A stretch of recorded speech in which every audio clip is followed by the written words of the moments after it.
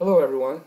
Lance Stears here, and I would like to just ask for a few minutes of your time while I give you my review on what, in my opinion, is some of the best product on the market today, hands down. Have you ever heard of Germtec? Germtec is a spray hand sanitizer unlike anything that you've ever tried before. Let me briefly tell you why Germtec is so unique. Number one, Germtec is alcohol free. Now, we've all tried those alcohol based hand sanitizers on the market. They all have between 60 and 80% of uh, alcohol in them. But did you know that they are only going to protect your hands while your hands are wet? Three to four minutes. Once that alcohol evaporates, you're having to use it again and again and again. Eventually, your skin becomes all dry and itchy and cracked. With Germtec, that's not an issue. The ingredients they use in Germtec is going to protect your hands for up to three to four hours after use.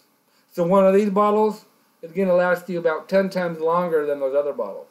Not to mention, GermTech has wound care in it alcohol-based hand sanitizers are just going to not only make your hands sting when they're all cracked or and, and dry and you have a paper cut or a blister it's just going to irritate it. With Germtec it has wound care in it so it's just going to help that wound. And it's not going to sting. And it's still going to kill 99.99% of germs just like those other ones are one of the best features I like about this, though, is that it is safe for kids. I have five year old triplet grandkids.